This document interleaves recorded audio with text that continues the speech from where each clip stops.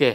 ဒီနေ့တော့ Vivo V29 ရဲ့ပြားရိပ်ဆန်းကာလာပြီးဆုံးသွားပြီဆိုတော့ review လုပ်ဖို့အချိန်ရောက်လာပြီပေါ့နော်ဆိုတော့ review ဖြစ်သွားတဲ့အလျောက်ထုံးစံတိုင်းကျွန်တော်ရဲ့ personal feeling တွေပါလာမယ်ကြိုက်တာတွေရောမကြိုက်တာတွေရောထည့်ပြောမှာဆိုတော့အဆုံးထိဆက်ကြည့်ပေးရပေါ့အရင်ဆုံး design ပိုင်းဆိုတော့ဒီ V29 က official ဝင်လာတဲ့ဖုန်းတွေရော PI ဝင်လာတဲ့ဖုန်းတွေရောသူနဲ့ဇေတန်းတူဖုန်းတွေအားလုံးထဲမှာလိုက်ပြီးတော့ရှင်လို့ရတဲ့အနေအထားတစ်ခုမှရှိတယ်။ကိုင်လိုက်တာနဲ့ premium ဆန်တဲ့ hand feeling တစ်ခုကိုရတယ်တော့ကျွန်တော်တို့ကြည့်လိုက်ရတဲ့အမြင်မှာလည်းတော်တော်လေးလှတဲ့ဆိုတဲ့ခံစားချက်တစ်ခုကိုသူပေးထားရပေါ့နော်။တကယ်တမ်းဒီဖုန်းရဲ့ site ကအာကျွန်တော်လက်ရှိကင်နေတဲ့ iPhone 14 Pro Max ရှင်းလိုက်မှဆိုရင်တော့မှပဲသူကနည်းနည်းလေးပိုကြီးသေးတယ်။ဒါပေမဲ့သူကအရှိဘက်ကောအနောက်ဘက်ကော cut လုပ်ပေးထားတဲ့အတွက်ကြောင့်လက်ထဲမှာကင်ရတာ comfort ဖြစ်တယ်။တက်တောင့်တက်တာတော်တော်လေးရှိတယ်။မကြိုက်တာလေးတွေကတော့ဒီနောက်ကျောဘက်မှာ glossy လုပ်ပေးထားတာကိုကျွန်တော်တိတ်တော့မကြိုက်ဘူးပေါ့နော်။ဒါကအရင် ဟို slippy ဖြစ်တယ်တခုပေါ်တင်နိုင်ပြုတ်ကြလွယ်တယ် clean look လေးပိုဖြစ်စေချင်တယ်ဘာလို့လဲဆိုတော့သူ elegant ဖြစ်တဲ့ဘက်ကိုသွားထားတယ်နောက်ပြီးတော့ aesthetic ဖြစ်တဲ့ဘက်ကိုသွားထားတယ်ဆိုတော့အဲ့ look နဲ့သူကပို့ပြီးတော့လိုက်တယ်ပြီးတော့ build quality ဘိုင်းမှာဆိုရင်လည်းသူ IP54 ပါလာတယ်ဆိုတော့မစိုးဘူးပေါ့နော်ဆိုတော့ design ဘိုင်းနဲ့ build quality ဘိုင်းတွေမှာဒီဖုန်းကကျွန်တော်အမှတ်ပြည့်နှီးပါပေးလို့အောင်ရတယ်အဲ့တော့ display ပိုင်းဒီနေရာမှာလည်းသူကအများကြီးတော့အပြစ်ပြောနေစရာမရှိဘူး 1.5K AMOLED ဘန်နဲ့ 120 Hz နဲ့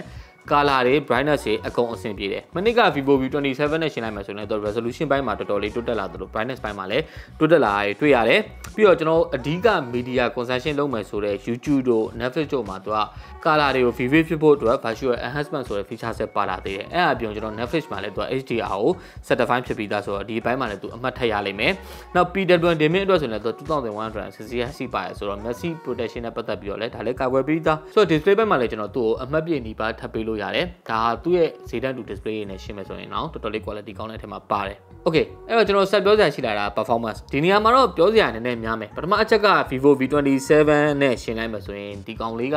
chipset ပြောင်းသုံးလိုက်တယ်အဲ့ဒါက downgrade ဖြစ်သွားလားဆိုတော့အဖြေကျွန်တော်ကိုလာမေးမယ်ဆိုရင်တော့ကျွန်တော်အမြင်ကတော့ no ပေါ့နော်။ဘာကြောင့်လဲဆိုတော့ nano view အမှတ်မှာသူနဲကောင်းနဲသွားလိမ့်မယ်။အဲ့လောက်နဲသွားတာတွေကတကယ်တမ်းကျွန်တော်အကျွေ usage daily test တွေမှာသိတာနေလားဆိုရင်တော့သိတာနေမှာမဟုတ်တော့လို့ effect တွေလည်းအများကြီးဖြစ်နေမှာမဟုတ်ဘူး။ဆိုလိုချင်တာ Vivo V27 မှာကျွန်တော် game တစ်ခုကိုဒီလောက်ထိ graphic နဲ့ဆော့လို့ရပြီးတော့ V29 မှာအဲ့လောက် graphic နဲ့ဆော့လို့မရတဲ့ game ဆိုတာလည်းရှိနေမှာမဟုတ်ဘူး။ Okay အဲ့တော့ကျွန်တော်မေးခွန်းထုတ်စရာရှိလာပြီ။ မနစ်တုန်းက Vivo V27 မှာသုံးပေးခဲ့တဲ့ဒီ Dimensity 7200တဲ့ပိုနှိမ့်တဲ့ Snapdragon 778G ကိုဘာကြောင့်အသစ်ထွက်တဲ့ model မှာသုံးလိုက်လဲဆိုတဲ့မေးခွန်းပေါ့နော်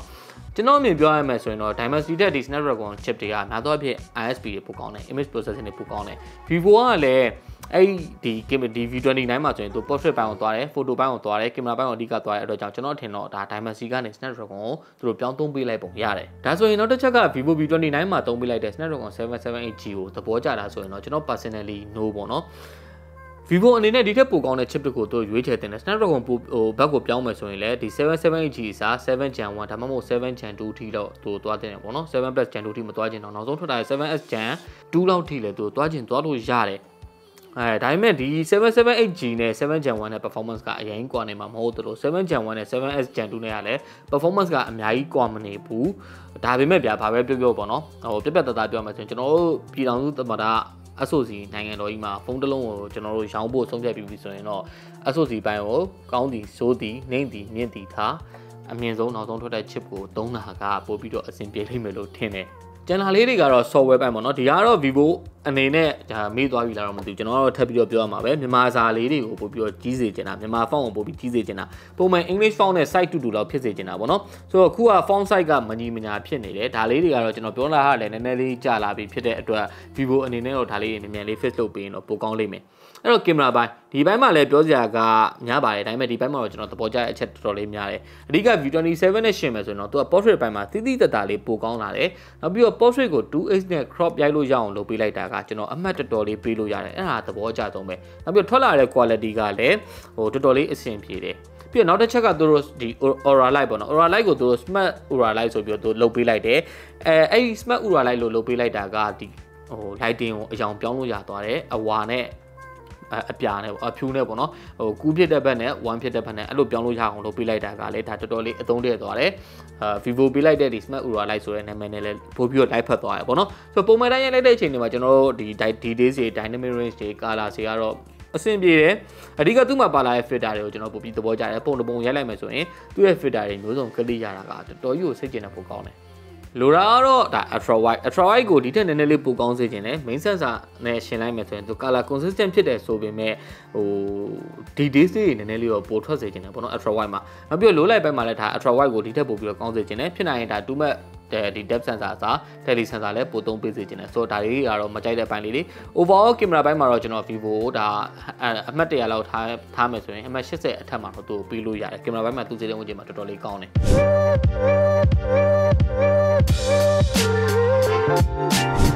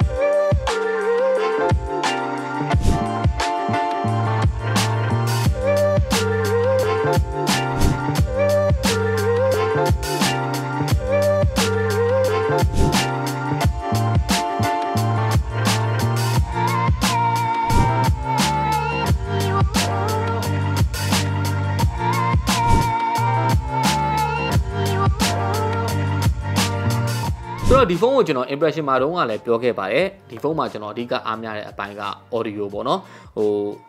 အတန်မကောင်းတာအတန်မကျေတာမျိုးမဟုတ်ဘဲနဲ့ mono speaker ဖြစ်နေတာကိုအားမရ အဲ့တော့ battery ပိုင်း battery ပိုင်းမှာကသူက one day use ဆိုကောင်းကောင်းကြီးအဆင်ပြေတယ်ပုံမှန်တိုင်း social media သုံးမယ် game ပေါ့ပေါ့ပပ2နိုင်1နိုင်လောက်ဆော့မယ်အဲ့ဒါဆိုရင်တော့အားကုန်မြန်တဲ့ဖုန်းတွေထဲမှာတော့မပါဘူးအားသွင်းမယ်ဆိုရင်တော့81နဲ့ဒါအားသွင်းတဲ့နေရာမှာလည်းတော်တော်လေးမြန်တယ်ဆိုတော့ဒီ Vivo ရဲ့ V29 ကအားသာချက်တွေလည်းရှိသလိုဖုန်းတစ်လုံးပြီးသားစွာနဲ့ပဲသူ့မှာလည်းတချို့လိုအပ်တဲ့နေရာလေးတွေလည်းရှိတယ်ဒါတွေကတော့ကျွန်တော်ခုနကပြောခဲ့ပြီးပြီးသားဖြစ်တဲ့အတွက်ကြောင့်